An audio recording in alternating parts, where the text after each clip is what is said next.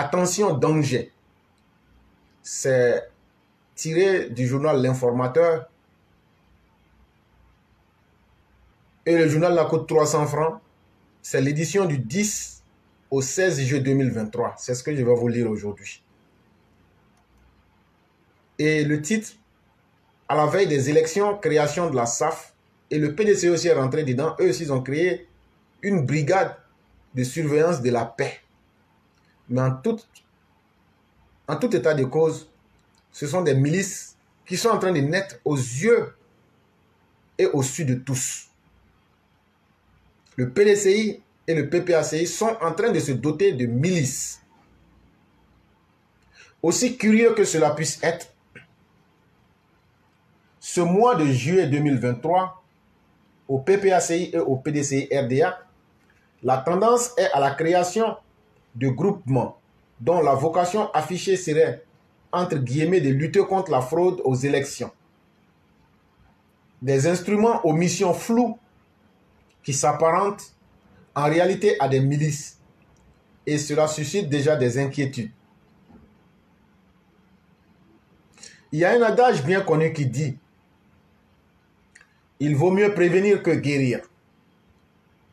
À moins de deux mois des échéances électorales en Côte d'Ivoire, la sagesse commanderait que l'on attire hic et nunc l'attention des autorités en charge de la sécurité intérieure sur un fait. Un fait qui passe pour l'heure presque inaperçu, mais qui pourrait se muer en un véritable danger en période post-électorale pour les populations ivoiriennes, si l'on y prend garde. Il pourrait également, par ricochet, devenir un boulet au pied du ministère de l'Intérieur et de la Sécurité qui va avoir du mal à rétablir l'ordre.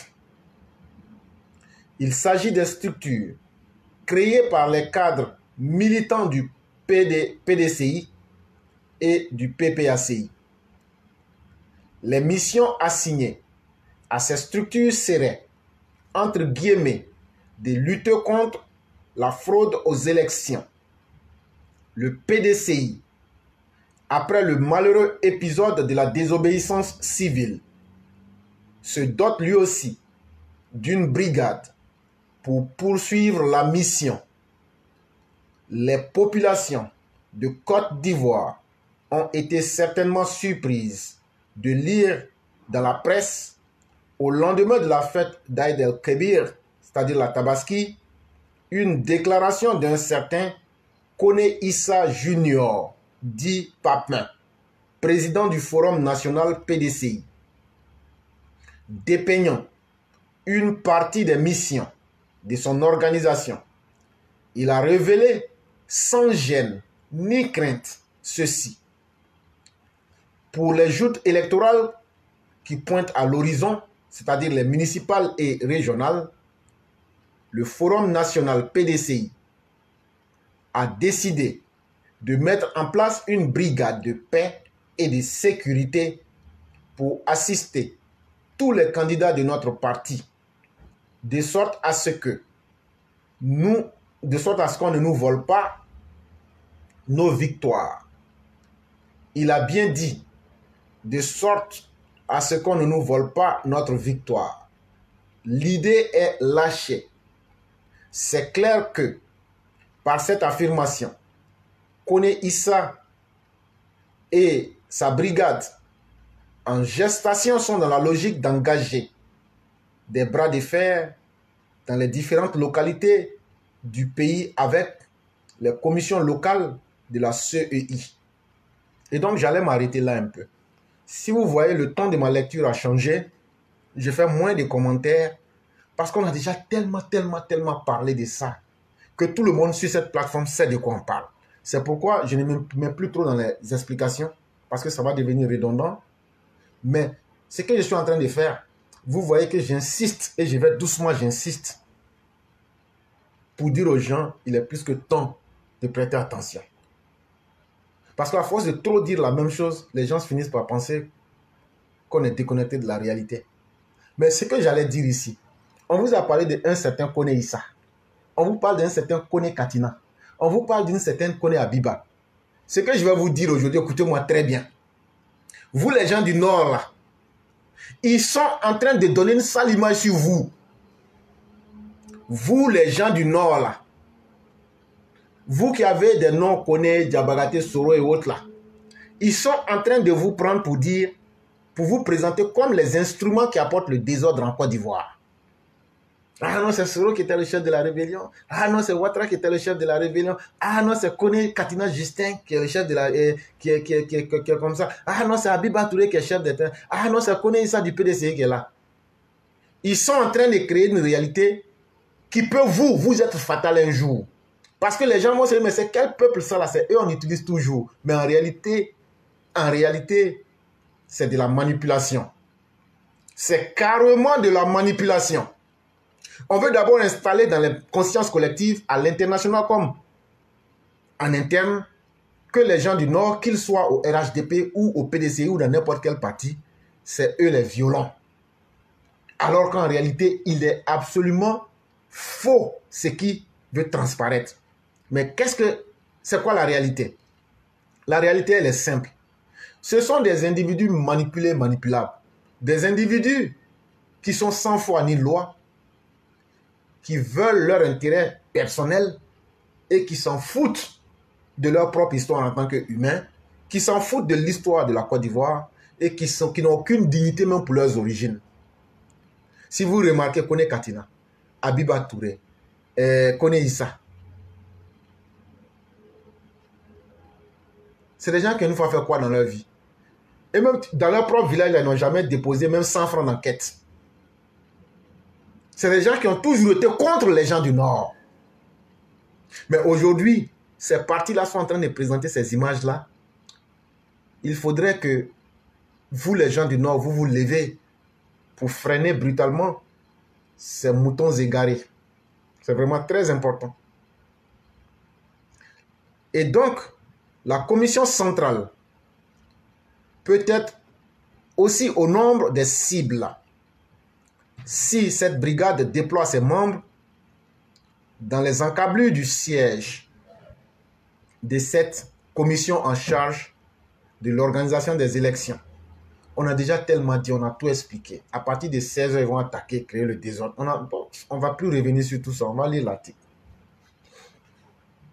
Ces bras de fer en perspective pourraient inévitablement et malheureusement déboucher sur mort d'homme. Mais allez reprendre nos émissions. Lorsque nous parlions, j'avais dit que ces élections-là, il y aura mort d'homme. Mais comme les gens ne posent jamais de questions, les gens viennent écouter les directs et puis après ils s'en vont. Ils disent on a écouté, on est parti, il y a eu 1000 vues, il y a eu 2000 vues. Nous là, ce ne sont pas les vues qui nous intéressent. Ce ne sont pas les partages qui nous intéressent.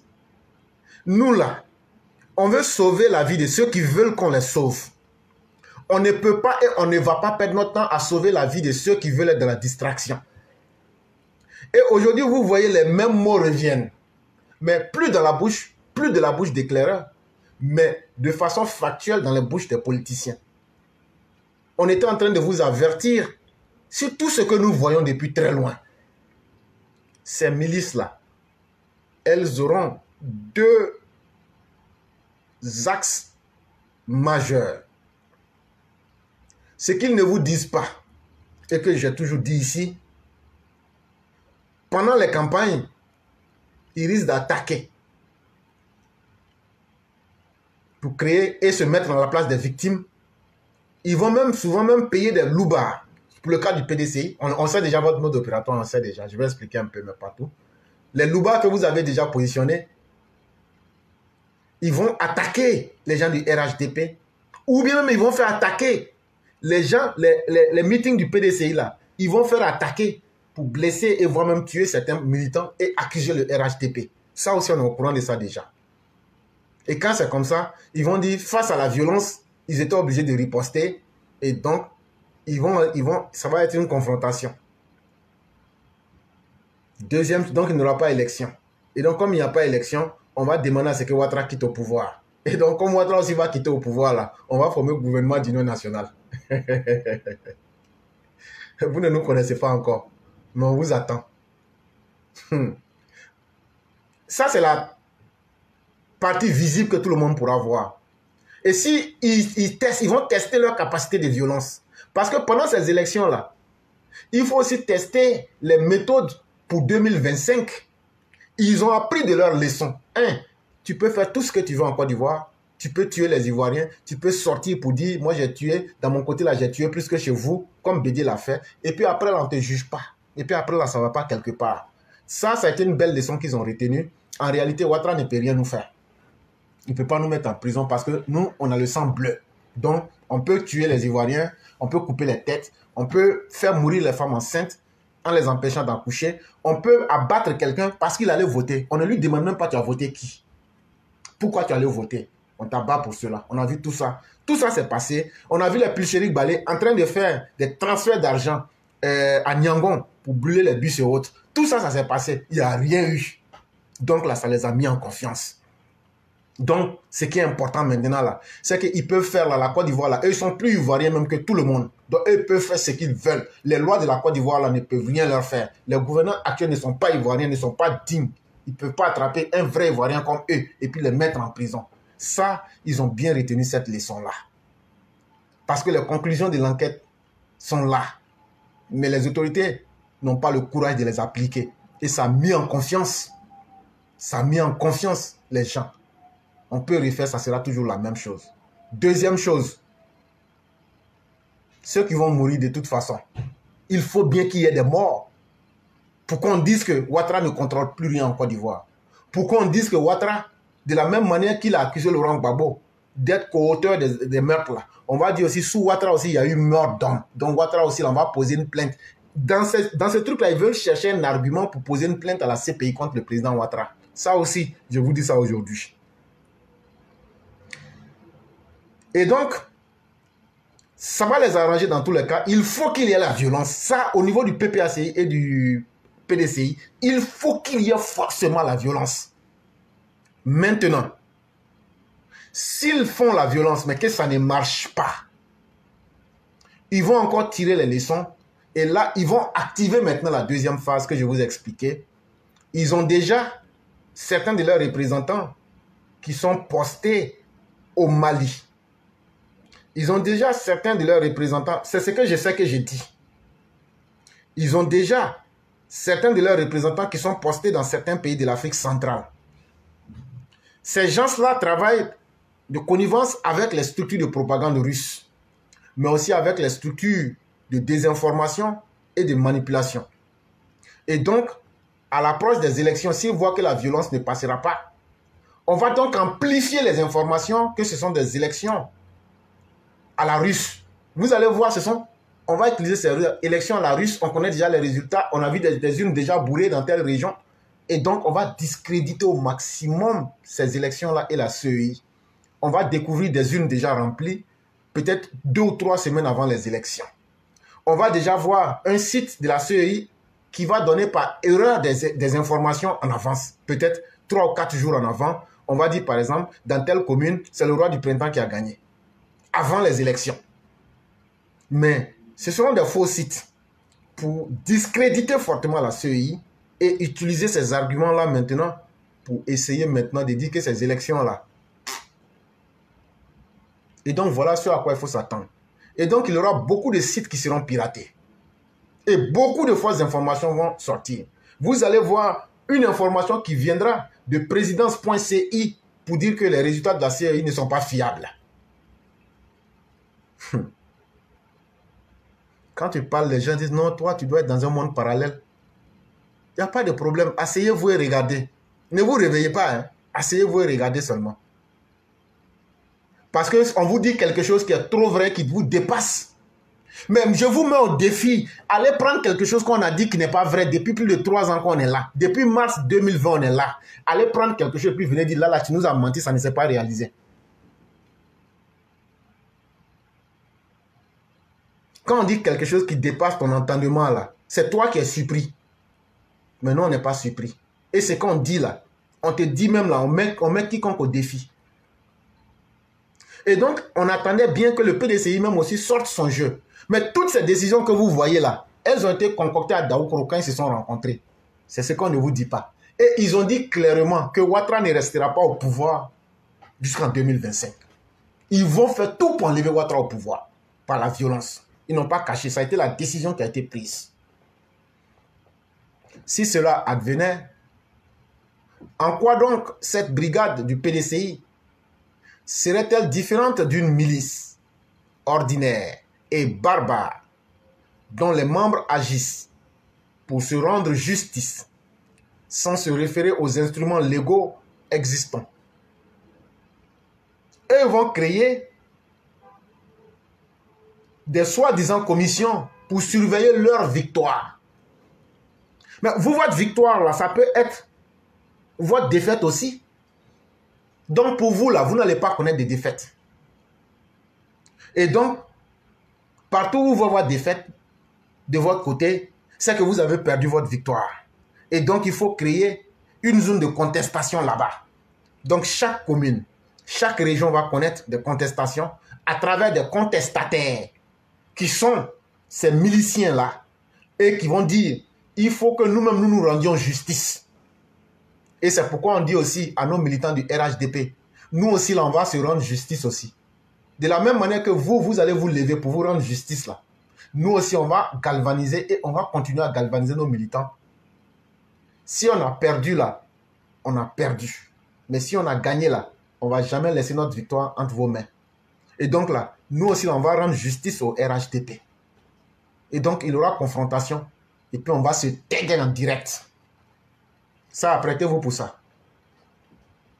De plus, dès que le sieur Kone, alias Papin, a émis l'idée de la création de cette brigade, disons, de cette milice justicière, la première idée qui a commencé à trottiner dans les esprits des personnes qui se rappellent de l'histoire récente du PDCI est le fameux appel à la désobéissance civile lancé le dimanche 20 septembre 2020 par l'ex-président de la Côte d'Ivoire, Henri Kona Bédier.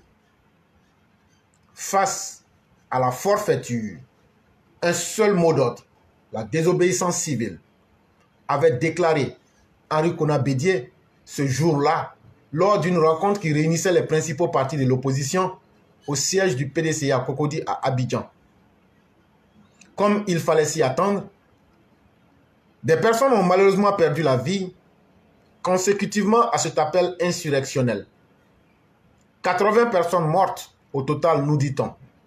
Fort malheureusement, l'objectif qui consistait à empêcher la tenue des élections présidentielles du 31 octobre 2020 n'a pas été atteint. Ce fut un revers patent.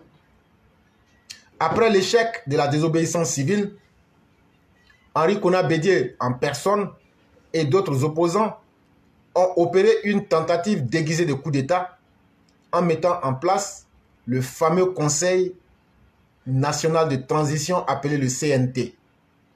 Alors même que tout le monde attendait les résultats de la présidentielle de 2020.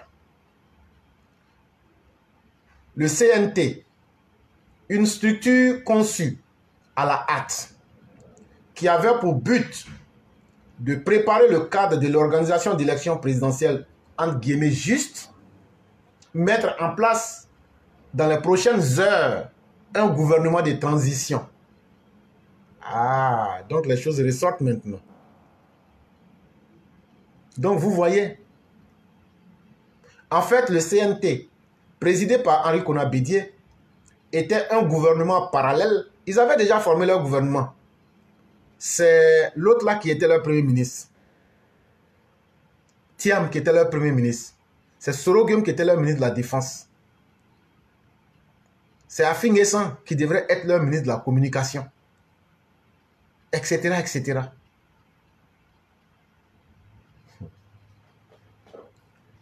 En fait, le CNT, présidé par Henri Kona Bédier, était un gouvernement parallèle que ces initiateurs voulaient faire fonctionner en toute illégalité et illégitimité. La force de la loi a naturellement triomphé des sombres prétentions. Le CNT est retourné d'où il est venu. Et vous le savez, hein, il, a, il a suffi qu'on entoure la maison du Grigou et qu'on arrête certains de ses parents pour qu'ils se dégonflent. Sinon, les 85, les 50 morts, les 100 morts, ce n'était pas son problème. Alors, quand un militant du PDCI bombe la poitrine aujourd'hui sous le feu de la rampe de la presse et annonce la création d'une brigade, dit-il, assister entre guillemets tous les candidats de notre parti, le PDCI, de sorte qu'on ne nous vole pas nos, nos victoires. Il ne faut pas se voiler la face. Cette annonce doit susciter crainte et même la psychose. Il s'agit bel et bien d'un instrument dont les membres vont être utilisés pour faire des basses besognes. Je vous ai déjà expliqué ce qu'ils vont faire. Euh, les gars des gars routiers, il y a des gens qui vont vous contacter. Ils vont dire, bon, il y a 200 000 francs, il y a une petite opération. Les gars, si vous rentrez dedans là, on va se taire sur le terrain. Ça, on va pas vous mentir. On va se, on prendre colo-colo sur le terrain. Pas, et puis on n'aura pas pitié.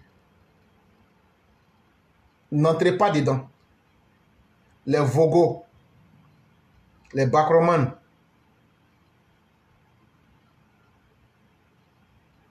méfiez-vous. Ce qu'on appelle en général les nousia. Méfiez-vous.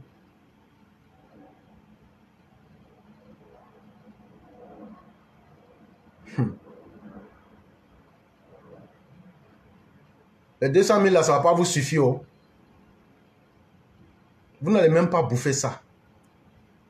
Demandez-nous ce qu'on a fait aux Angolais à Boaké. Ce qu'on ne vous dit pas, c'est que quand on les liquidait, là, on fouillait leurs poches et puis on prenait les jetons qui étaient dans leurs poches. Avec les téléphones portables. Sur d'autres, on a eu 500 000, 300 000, 400 000. Tu es venu vendre ta vie cadeau. Tu n'as même pas mangé l'argent. Il y aura donc un travail de milicien proprement dit et ce sera proprement fait par le PDCI ainsi que le PPACI. Le ministère de l'Intérieur, c'est-à-dire M. Fagondo Diomandé, et le ministre de la Sécurité, c'est-à-dire M. Tene Birema Ouattara, devraient tous deux y porter un regard sans attendre. Il faut que les dirigeants de ces partis-là soient appelés et qu'ils désavouent ces partis ou ces structures-là.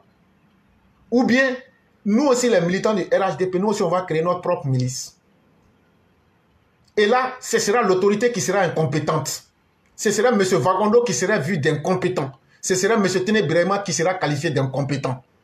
Parce qu'on ne peut pas accepter, et ça serait une insulte pour notre armée, que des milices puissent naître à la barbe de notre armée et que les premiers responsables ne puissent pas taper du poing sur la table ça, ça commence à nous sortir par les ports. Il faut que ça cesse. Monsieur le ministre TBO, Monsieur Vagondo, mettez fin à cette chien-lit. On ne peut pas être assis et les gens vont menacer au gré de leurs intérêts et de leurs plaisirs les familles et les innocents citoyens. Il faut que ça cesse. Quand on veut créer une milice, on la crée, on fait ce qu'on a à faire. Et on ne peut pas créer une milice juste par plaisir. C'est pour s'opposer aux institutions légales. Vous avez suffisamment d'informations.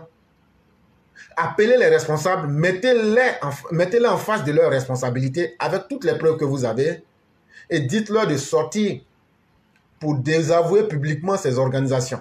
Si ils ne le font pas, les Ivoiriens prendront à témoin et vous-même, l'opinion internationale, ne vous tiendra pas rigueur parce que vous aurez fait ce que vous avez à faire. Parce que si on réagit violemment à travers les instruments légaux que sont l'armée et autres, on va dire non, ils ont tué des gens. Ils n'étaient pas en civil, ce pas des miliciens.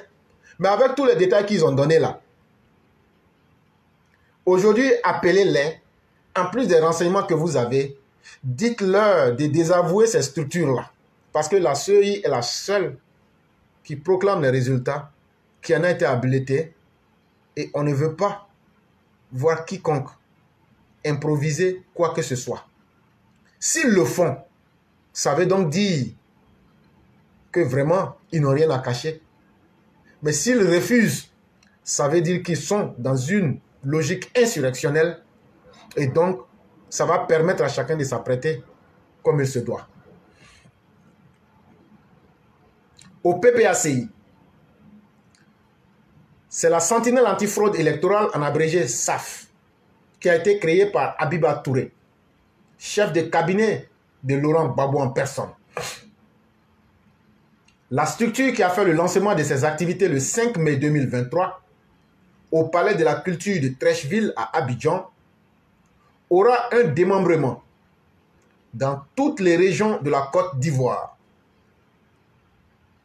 Selon son initiatrice, ces démembrements ont pour mission de faire remonter tous les cas de fraude électorale au bureau central composé de 18 membres.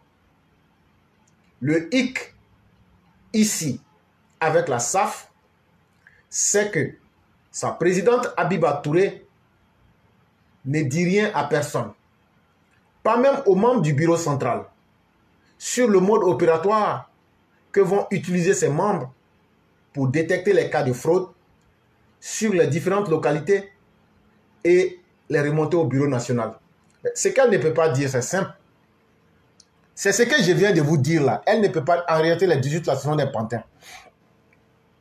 Le vrai travail se passera à partir de Bamako et à partir de certaines capitales en Afrique centrale. Pour manipuler.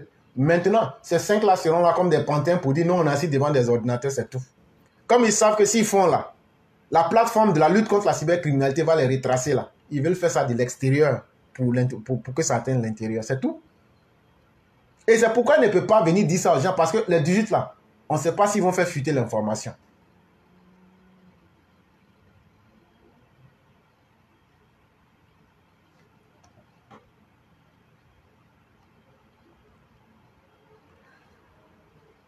Serait-ce en observant les électeurs dans les rues tout simplement, ou en interrogeant, ou en accédant avec la puissance des muscles aux informations dans les bureaux? Et donc le journaliste pose la question. Les informations que la SAF va faire remonter à leur QG de 18 personnes là, est-ce que c'est en regardant simplement les électeurs, si tu t'appelles peut-être Kone ou bien Koulibaly, on dit, bon, lui, les RDR, à côté, toi, tu ne comptes pas. Si tu t'appelles Digbe, si tu t'appelles Zoku, si tu t'appelles XY, on va, bon, lui, les baboïstes. Est-ce que ça sera ça leur méthode? Parce que quand tu vas dans les urnes là, quand tu votes là, pas toi, personne ne sait qui tu as voté. Tu peux t'appeler Koulibaly et puis aller voter Laurent Gbagbo. Ou bien, est-ce que par extraordinaire, quand les gens vont finir de voter dans les bureaux de vote là, ils vont dire, bon, toi là, tu as voté, non? Donne-moi ta main tu donnes ton index, on regarde, on dit tu as voté, tu as voté qui? Si on ne voit pas le nom PPACI dessous un PDCI là, c'est fini pour toi. Ça aussi, c'est une méthode pour vérifier. Ou bien simplement même, on laisse les gens, ils vont voter, et maintenant, on attend. À 16 heures, on dit aux représentants des partis que sont le PDCI et le PPACI de quitter les bureaux de vote. Et on lance, en réalité, ceux qui seront les accessoires qui seront là-bas à leur compte ce seront des gens qui vont donner des informations. Ce seront des gens qui vont donner des informations sur les mouvements des différents bureaux de vote et ce qui s'y passe, et aussi les quantités de, militaires et de personnes qui seront mises pour sécuriser les lieux. Ça, je vous donne aussi cette information. Ceux qui seront dans les bureaux de vote, comme les représentants du PDC et PPACI là, ce seront des miliciens. Ça fait partie des conditions de recrutement mais qui ne seront pas en armes parce qu'ils ne le peuvent pas.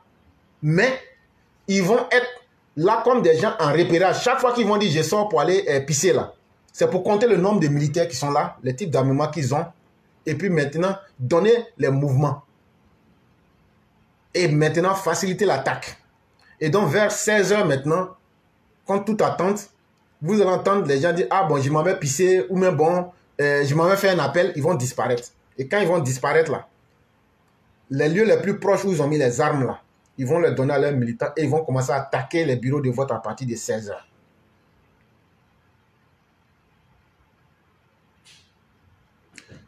Les questions restent entières au niveau de la méthode de travail des démembrements de la SAF. Mais des souvenirs amers relatifs au comportement d'un proche de Laurent Gbagbo, en l'occurrence Damana Adia Pikas, actuel secrétaire général du PPACI, font penser que les membres de la SAF pourraient aisément lui emboîter le pas. Le 30 novembre 2010, on a souvenance, comme si c'était hier, les Ivoiriens et les citoyens du monde entier étaient scotchés devant leur poste téléviseur. Ils attendaient avec joie, mêlés de suspense, calculatrice en main, les résultats du premier tour des élections présidentielles.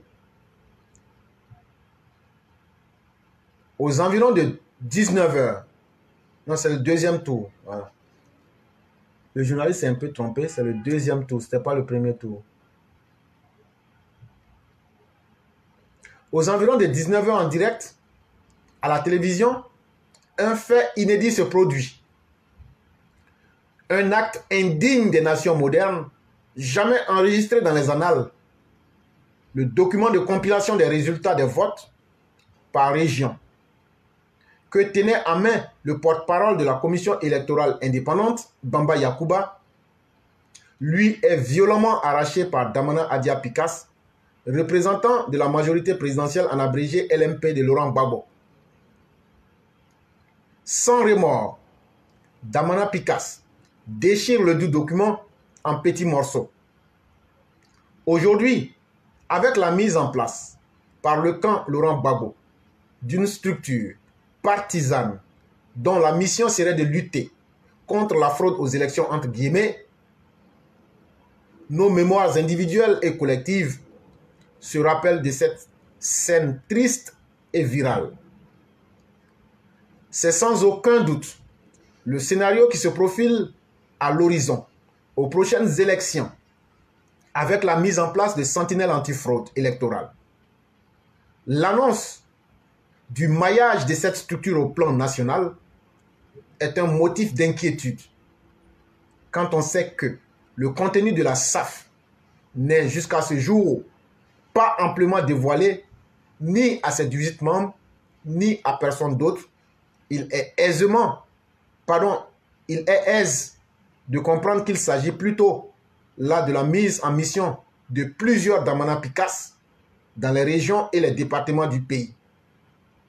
Ce sont et ce seront alors des microstructures dont les animateurs s'arrogeront le droit de faire irruption dans les bureaux de vote, de déchirer les bulletins et autres documents. Au nom de la force des muscles, ce sont des actes de vandalisme que Dame Abiba Touré se prépare à légitimer à travers la SAF. Imaginez un seul instant que des membres des structures locales de SAF assiègent les bureaux de vote le même jour dans plusieurs localités du pays sous prétexte qu'ils auraient découvert des cas de fraude, qu'ils arrachent les documents et incendient ou déchirent à la manière de leur modèle d'Amana Adia Pikas en 2010. Qu'adviendrait-il Surtout si en face d'eux, ils trouvent d'autres concitoyens qui s'opposent à cette inconduite. Et là, on sera là. On va s'opposer à cette fermeture. Parce que, je le dis, nous aussi, on a apprêté nos gars aussi. Ce sera le lit à la violence dommageable. SAF est donc simplement une mauvaise inspiration dont les activités vont forcément déborder et planter dans diverses régions du pays les germes d'une crise que tous les habitants de la Côte d'Ivoire sont unanimes à vouloir éviter. SAF devrait hic et nunc mettre fin à ces activités. Sans se mentir, elle présente tous les traits d'une milice en création.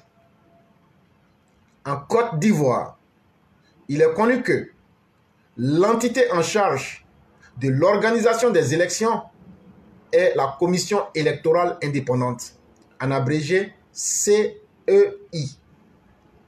Au sein de celle-ci, disons, dans son bureau central, tous les partis politiques significatifs sont représentés chacun par un représentant. Concernant les commissions électorales locales également, tous les partis politiques y sont à travers leurs représentants. Au-delà de tout ceci, chaque parti politique a un représentant et un responsable électoral. Ce n'est pas tout. Il est de notoriété que la CEI communique abondamment sur ses actions et organise même des rencontres régulières avec les responsables des partis politiques pour des échanges en vue de mise à niveau. D'où vient donc-il que des gens s'autorisent à créer ici et là des brigades ou des sentinelles ou autres milices travesties pour se rendre justice au cours des élections? C'est une alerte adressée aux autorités ivoiriennes en général et particulièrement au ministère de l'Intérieur et de la Sécurité. On a dit, on a expliqué. On voudrait aussi que l'État aussi nous donne sa position. Cette histoire-là, si l'État ne dit rien, ça veut dire que l'État est complice. Ça veut dire que l'État est complice de la chienlit et de la mort des Ivoiriens qui va se perpétrer. Et donc, cela va décrédibiliser le gouvernement lui-même dans son entièreté. Et demain, là, tout cas de violence, c'est vous qui en serez les responsables. Parce que vous avez vu naître le monstre. Vous avez l'autorité de l'État en main pour mettre fin. Mais si vous vous taisez, vous serez tenu pour responsable. Il est donc important que le ministère de l'Intérieur, le ministère, c'est pourquoi vous avez vu M. Van ils ont déjà commencé le travail. C'est pourquoi quand M. Vagondo est parti pour dire on ne veut pas voir de, de préfet ou sous-préfet militants là, ils savent déjà. On a déjà les noms de tous ceux qu'ils ont déjà contactés. Les préfets, sous-préfets qu'ils ont contactés. On a déjà vos noms. Mais le ministre s'est fait élégant. Et n'a pas voulu dire et vous citer par les noms. On sait ce que vous faites.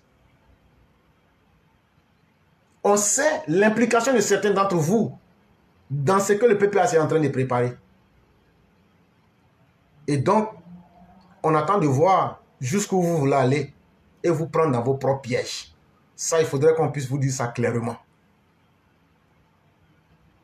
Et donc, quand il parle de maillage, ce n'est pas seulement un maillage comme vous, vous voulez le voir, mais c'est une complicité à plusieurs niveaux.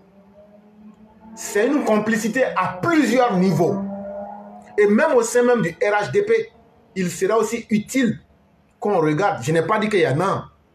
Mais on ne peut pas avoir un tel niveau de confiance si on n'a pas de complicité en interne. Il sera aussi important qu'on regarde au sein du RHDP même s'il n'y a pas de traite parmi nous. Je n'ai pas dit qu'il y en a. Je dis qu'il faut vérifier. Il faut prêter attention. La confiance que ces gens ont là, ce n'est pas une confiance gratuite. Et ils ont miné plusieurs structures de l'État pour arriver à leur fin à travers des fonctionnaires xénophobes, tribalistes corrompus, ou à travers des personnes qui se disent Ah, de toute façon, moi je suis déjà riche. Ah, le pouvoir là, c'est pas éternel, on peut perdre. Donc attends, je vais faire, je, mets un pied ici, un pied de l'autre côté. Ceux qui m'écoutent très bien savent de quoi je parle. Il y a des militants du RHDP là, eux, ils ont un pied avec les opposants, un pied avec Alassane Ouattara. Tout cela, on doit les vérifier. Parce que eux, non, eux, aiment trop leur richesse. Eux ne veulent pas perdre leur richesse là. Donc, qu'est-ce qu'il faut faire? Il faut faire plaisir au PPACI, au PDCI. Là, si Alassane Ouattara perd le pouvoir, vous avez le courage d'imaginer Alassane Ouattara perdre le pouvoir. Mais vous n'avez pas le courage d'imaginer Alassane Ouattara maintenir le pouvoir. Ce courage malsain que vous avez pour souhaiter le malheur à la Côte d'Ivoire, là, alors que vous êtes dans le RHDP, là, est-ce que vous ne pouvez pas prendre ce même courage malsain, là, le transformer en positivité pour dire, comme de la main, le pauvre éclaireur et les élèves de la classe sont en train de se décarcasser? Vous voulez encore voir des morts Si vous aimez Alassane Ouattara, est-ce qu'on a intérêt à ce qu'il y ait la violence? Est-ce qu'il n'est pas mieux de s'opposer à la violence comme nous on le fait? Mais, hmm, dans la vie, chacun fait ce qu'il peut. Et personne ne fera ce qu'il ne peut pas. Vous, c'est vos biens aujourd'hui que vous voulez préserver. Il n'y a pas de problème. Mais vous et vos biens là, vous n'allez pas être éternel. De la même manière que vous dites qu'aucun pouvoir n'est éternel là, vous-même vos biens là, sachez que ceux que vous allez aider à faire tomber Ouattara là, ils vont vous arracher vos biens là à la minute qui suivent. Si vous restez vivant, hein. Parce que dans leur discours, si vous écoutez très bien, ce qui s'est passé à commencer la dernière fois, le monsieur a dit non, nous là, on ne va pas les chasser, on ne va pas leur faire du mal. C'est un code. C'est un code pour vous dire qu'ils ne vont pas vous laisser vivant. Mais, si c'est ce que vous souhaitez, on souhaite que ça vous arrive. Là, quand vous serez de l'autre côté, vous pourrez voir la réalité et vous dire si on avait su.